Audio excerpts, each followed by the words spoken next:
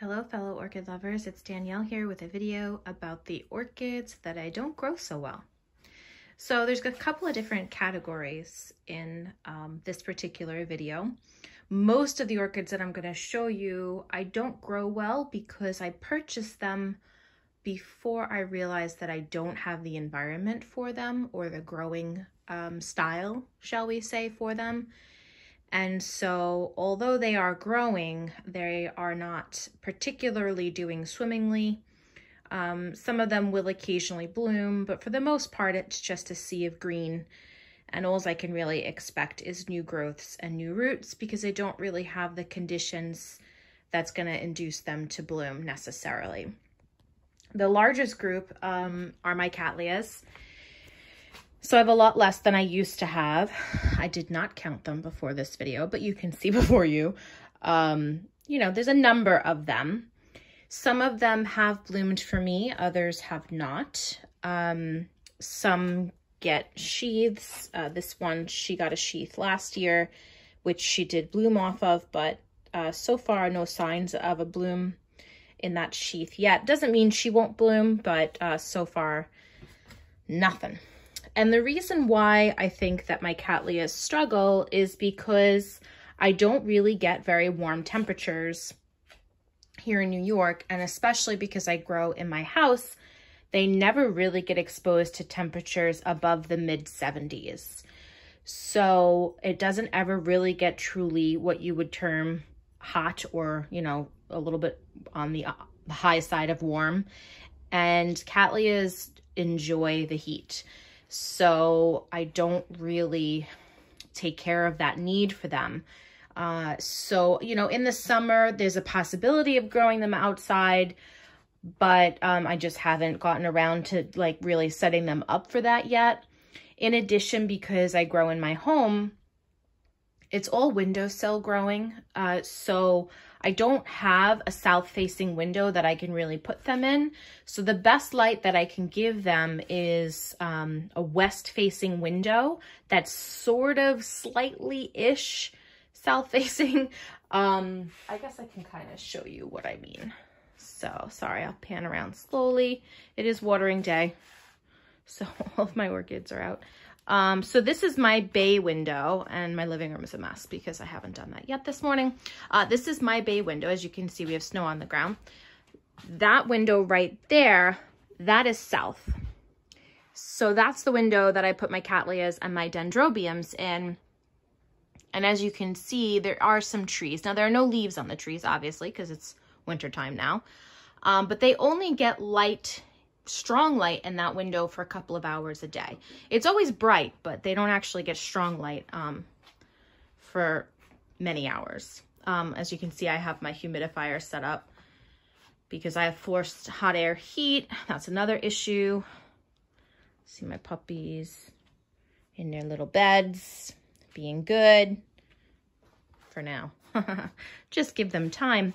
Uh, so, yes, so as you can see, um, they do get light, but probably not the correct level for a Cattleya. So although they grow, they do grow. I mean, I, this is this is a new growth from this year. This is a new growth from this year, and it has a little sheath. Um, again, this is a new growth from this year. It has a sheath.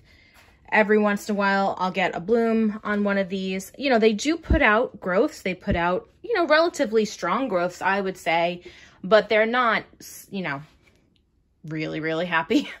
So they don't do so well for me. So that's the reason why I, I, encourage you to not do what I did. Don't just buy something because you like it. Like when I first started growing back in 2016, um, I started buying orchids because I liked them, not realizing that I didn't have the conditions to make them happy.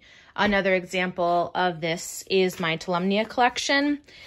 Part of this, however, is my own laziness. Um, as you can see, the you know, they are decently sized. Uh, they're, you know, the they're not as plump and happy as they maybe were when I first started growing them because I was keeping on top of that wet dry cycle that they really like. Um, they like to get a drink and then dry out and then get a drink and then dry out. And unfortunately, because of my schedule um, and also my health condition, I don't always have um, that availability to be able to care for them the way that they require. I did actually get one of them to bloom for me last year. Um, as you can see, there's the old spike right there. But since then, no signs of anything. And the new growths are not strong. I mean, they're there, but they're not strong.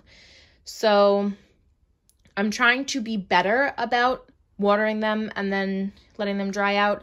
I actually do write down on my to-do list every week, water tolumnias, dump tolumnias, water tolumnias, dump tolumnias, so that it will kind of remind me to do it because if I don't, I will completely forget about them. So that's another orchid that doesn't necessarily thrive in my environment. I'm keeping them alive, but they're not doing swimmingly. Also my Vandaceous or orchid. So I have a couple of Vandaceous types. Some are doing better than others. This is my Sensei Blue. This is the Vanda that I've had the longest. I got her probably about six months into growing. So I've had her since 2016. She has never bloomed for me. She did get a spike the first year I had her and it shriveled and died on me. Um, so she don't like me so much. Uh, my cat got to her when I first got her and permanently damaged some of her leaves. So that shocked the orchid a little bit. Um, you know, she grows new structures for me. As you can see, I mean, this leaf is huge. Um, but she doesn't bloom and she doesn't, I mean, her, her growths are a little, well, actually it's not that bad, but they look a little more flimsy than they actually feel. But she's just never really been happy. I mean, she grew a lot of roots this year. Um, at first I had her in uh, hydroponics. I took her out of it and I hung her outside last summer, not this summer, last summer. She didn't really like that. Um, I was watering her every day. You know, she was getting those nice hot temperatures, but she got a little sunburn. Um, her leaves that year were very pitiful and undersized. So I was like, all right, this isn't working. So I brought her back inside and I put her back into the hydroponics, the water culture, and her newer structures have improved. But again, improved, but no blooms. Um, I don't know. She's a, she's a puzzle to me. I probably can't make her completely happy because I, I don't have the conditions that she requires. Again, she has a nice healthy root system, uh, nice new leaves, but she's definitely not as happy as she could be. So those are the orchids that I know I don't have the right growing conditions for. And so it's kind of my own fault that they are not happy uh, because they can't give them what they really thrive in. They grow, but they don't thrive. So that's those. Again, please research before you buy something because then you're just wasting your money like I did. Uh, and then these are a few of the orchids that won't bloom for me. and I don't know why. Um, there's a few that are struggling. Like, for instance, this one. I've had this one less than a year. Um, she went on a downward spiral pretty quickly, lost all her roots. I mean, you can see her leaves are pretty leathery. Doesn't mean it's, you know, curtains for this orchid. I've had plenty of orchids, Phalaenopsis orchids specifically do this to me. Um, you know, especially when I first started growing. They don't really do this anymore. Like, I kind of don't really have this reaction very frequently anymore. So she's puzzling me a little bit why she's so pissed off. Um, but yeah, she, so she dumped all her roots. So she's, She's not really hydrating very well. So, you know, she's, we're, we're working on her. Um, this one is actually like really healthy. This, this one grows and grows and grows and grows, as you can see. Um, really happy, happy orchid. I gave it lots and lots of light. It got a ton of roots, a ton of leaves really happy, but has never rebloomed for me. And this is one of my first orchids. This is, um, I've had this one since 2016 as well. It came with two flower spikes and then it never bloomed again. And it's put out leaf after leaf after root after leaf, but nope, it's not giving me a flower spike. I got it the same time as this one. This one's also very puzzling. I got it from the same supplier. Um, she came with two spikes. She grew a keiki on one of her spikes, which is doing rather well, actually. And then she went into a downward spiral herself. And I mean, she's not dead, but she's not doing well. These leaves she grew in my care, so, you know, they're decent sized, but a lot of her older leaves turned yellow. Um, she dropped all of her roots practically, so she's not happy. Um, and I, I don't really know why. um, like I said, this one I got the same time as this one. I put them through the same amount of nonsense as I was learning to grow hydroponically. This one did fine, that one did not. Um, and I don't, you know, like I said, she, she has a keiki and the keiki's doing great. So I don't know, maybe it's just something's wrong with the mother plant. Uh, this is another one. This one I've had actually, this is one of my first orchids that I put into water culture. This one I did back in March of 2016, I believe, is when I put this one into water culture. And I had two of the same orchid, same flower, everything. The other one that I had actually lost every single root, spiraled out of control. I thought it was going to die. It bounced back. It has a beautiful root system right now, and it rebloomed. This one never lost its its roots, never had that much of a problem. It, you know, it wasn't, it did, had a couple of roots, so it wasn't getting as hydrated as it should, but it never had that like panic moment that the other orchid did, and it's never rebloomed for me. The one that almost died rebloomed for me. This one has never come close to death, and yet it has never rebloomed for me. So I'm not really sure. Again, it's the same orchid, same flowers. I'm not really sure, you know, what her problem is, but she's never rebloomed for me. And, you know, that's not the, I mean, I have 30, 39 Phalaenopsis orchids, I think. That was last count. I may have a few more. Um, and most of them have rebloomed for me. So this is the exception to the rule. And, and, you know, they're puzzling to me. And I do, I switch them around, I change them into different windows, you know, I give them less light, I give them more light, and nothing has really seemed to trigger happiness or complete happiness, shall we say. I mean, this guy seems happy. Lots of roots, lots of leaves, but same with this one. No flowers. Uh, this is actually in the category that we just went over across the way there.